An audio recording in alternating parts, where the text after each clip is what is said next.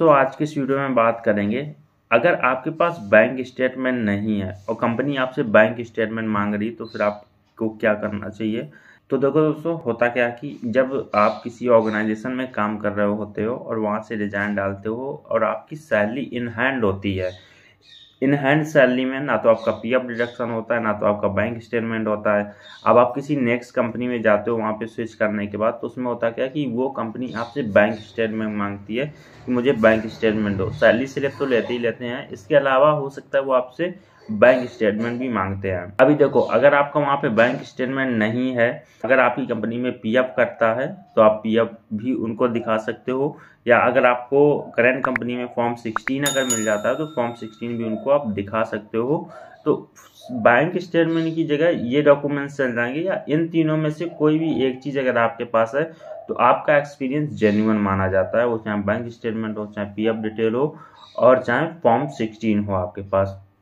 अभी क्या होता है, जब हम लोगों के पास ये तीनों डॉक्यूमेंट्स नहीं होते हैं, जिस कंपनी में काम कर रहे हो सकता है आपकी सैलरी क्रेडिट ना होती हो अकाउंट में, आपको कैश मिलती हो तो ये सिचुएशन भी हो सकती है।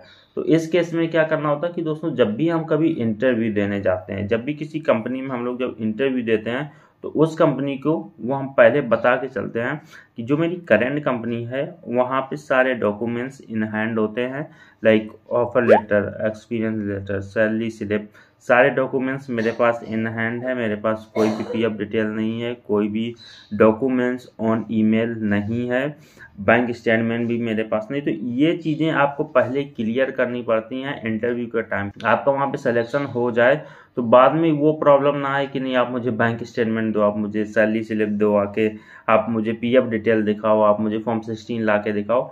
तो वो प्रॉब्लम आपको बाद में ना हो, इसलिए इंटरव्यू के पहले आप डिटेल में बता दो कि मेरी ऐसी ऐसी सिचुएशन है। अगर वो सिचुएशन उनके लिए ओके होगी, उससे कोई प्रॉब्लम नहीं होगी। अगर इन हैंड भी एक्सेप्टेबल होगा तो ही आपको वो इन करेंगे, तभी आपको इंटरव्यू में सेलेक्ट करेंगे। अदरवाइज़ वो पहले ही मना कर देंगे कि नहीं, हमें पीएफ डिटेल वाला ही बंदा चाहिए, हमें बैंक स्टेटमेंट वाला ही बंदा चाहिए। तो वो सिचुएशन वहाँ पे वेरी करती रहती है, कोई कंपनी इन हैंड में भी ले लेती है। कोई कंपनी से पीएफ डिटेल वालों का ही सिलेक्शन करती है। तो ऐसी सिचुएशन कभी भी आ सकती है। तो मेरे कहने का मतलब है कि ये चीज़ें आप पहले से वहाँ पर डिस्कस करके चलें। बस आज की वीडियो में इतना ही। वीडियो अगर अच्छा लगा तो like share and channel subscribe ज़रूर करें। मेरा नाम है शुभम। मैं तो नेक्स्ट वीडियो में। Tell have a great moment and don't forget to like share and subscribe thank you so much for coming